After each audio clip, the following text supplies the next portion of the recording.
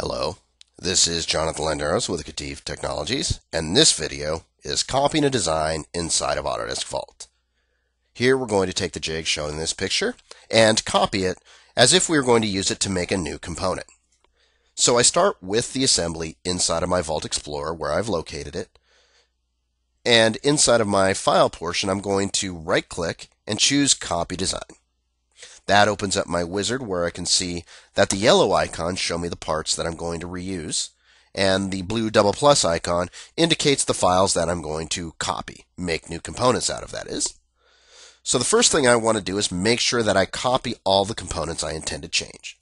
In this case, I need to add the jig base as a part to be copied because this is what I intend to ultimately stretch out. Now I can choose the destination directory. And I just select that as uh, a folder.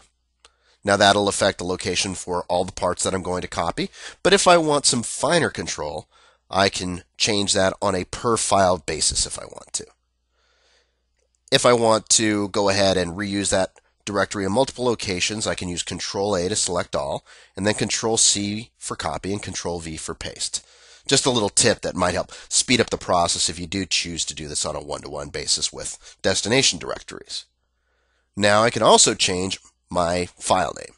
So here I'm taking the file names and giving them prototype jig as an example, and I'm using that copy all, copy and paste trick to change the uh, drawings and presentations and so on as well. And I'll go ahead and finish up my last few components right here. And now that I'm satisfied with everything, I can go ahead and tell Vault OK, and it'll copy the assembly, maintaining the associations to all the files as it copies the files it needs to copy and reuses the parts I told it to reuse. So now with that done, I can go ahead and see that there's my destination directory and some new directories.